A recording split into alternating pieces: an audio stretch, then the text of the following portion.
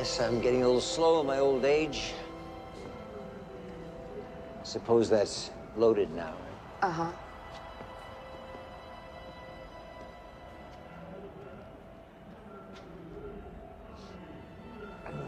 Why are you doing this?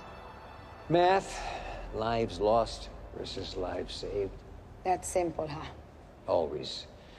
Even if it takes going the extra distance. How far is that? Tell me how to stop it. You can't. It's a time detonation.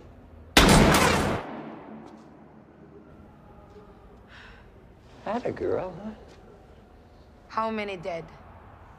Enough to get our attention. Global viruses are the biggest threat to mankind, and Washington is a sleep owl. It's an American affliction. You know, they truck bombed the World Trade Center in 93. It takes 9-11 to make an impression. Ebola hops across the Atlantic, but we ignore that warning too. Some kind of sick wake-up call? No, I'd call it a stress test of America's biodefense. Those American guests next door are gonna fly back to Oregon or to Oklahoma, and each one of them a ticking bomb. And when they go off, Washington will appreciate its staggering lack of preparation. And do what exactly? Legalize what's needed for the next time.